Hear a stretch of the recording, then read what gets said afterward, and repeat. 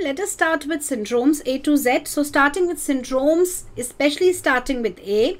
The first syndrome is this beautiful syndrome Alport. Alport syndrome, just remember, let us go by the words only, by the alphabet. So A.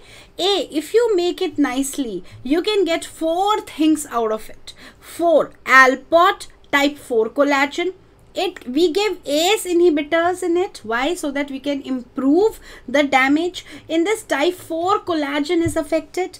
It is if you extend it if you ex really extend the 4 you can make H. So it is hereditary. From 4 you can do X also. So it is X linked X-linked man, it is more than woman, hereditary. And which hereditary X-linked? So beta X-linked recessive dominant is more common. Otherwise, it can be autosomal dominant recessive, anything. It is the most common hereditary nephritis. Right. Next beta L.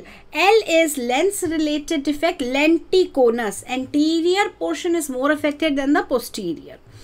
If I really make P and I reverse it, P looks like ear. So we also have sensory neural hearing loss in this.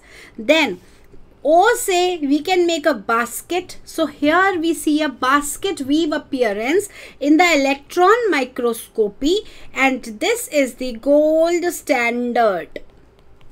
So what is the gold standard diagnosis? The electron microscopy wherein we are seeing the thinning and splitting of the glomerular membrane, basement membrane. With R we have renal problems and with T the transplantation, kidney transplantation is the only solution. Right beta? So alport remember four. Remember four things. Remember l say lenticonus op say you ear. No reverse it it becomes ear.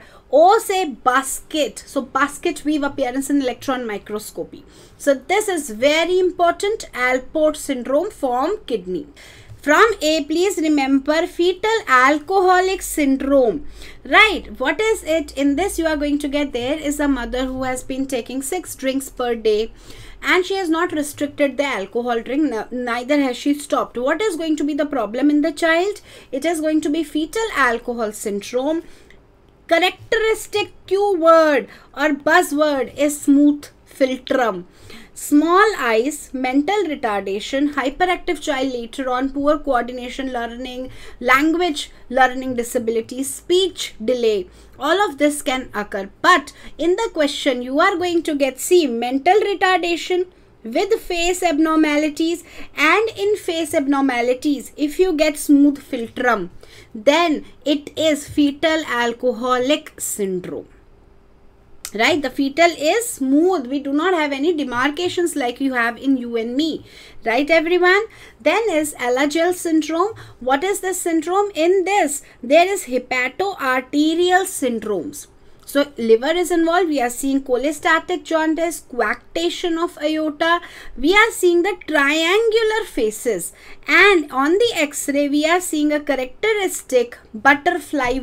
Next, Next, this is a myeloonycho hypohidrotic syndrome. The name only says tooth, nail and something to do with hydrosis, matlab sweating. So in this, tooth, nail abnormalities are there and reduced sweating ability is there.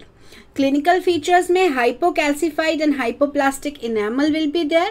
Onycholysis is there. Onycholysis means it is removal of the nails, right? The, the nails get uh, separated themselves and hypohidrosis. So beta this all if you find in a syndrome it is ameloonychohypohidrotic syndrome.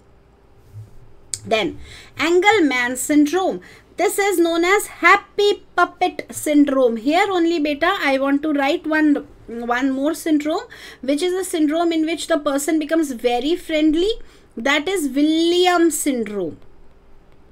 Right? So please remember puppet syndrome happy puppet and friendly syndrome they are different.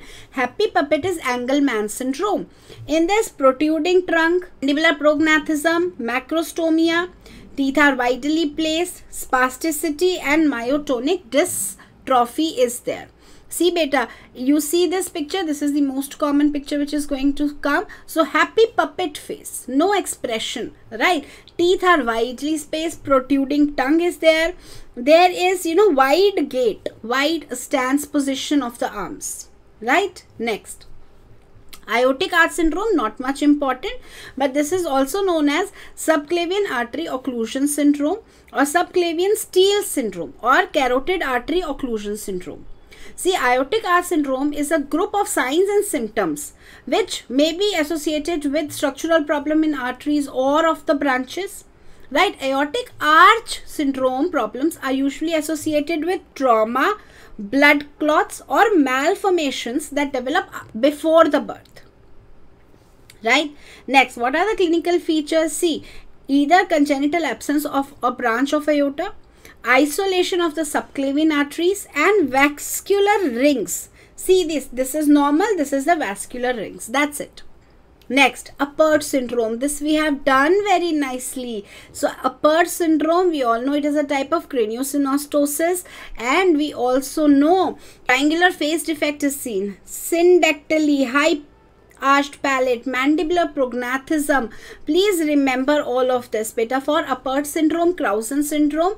Please see my video on the YouTube. There you will be able to differentiate between the three types of craniosynostosis. Right? There you will be able to see the differences. In Apert syndrome, we get mitten hands. Right? So this is very, very, very cute finding mitten hands. Next, Ascher's syndrome, also known as Laffer-Ascher syndrome. It is a very rare disorder. We have blepharochalasis, double upper lip, double upper lip and euthyroid goiter. So, bulky upper lip right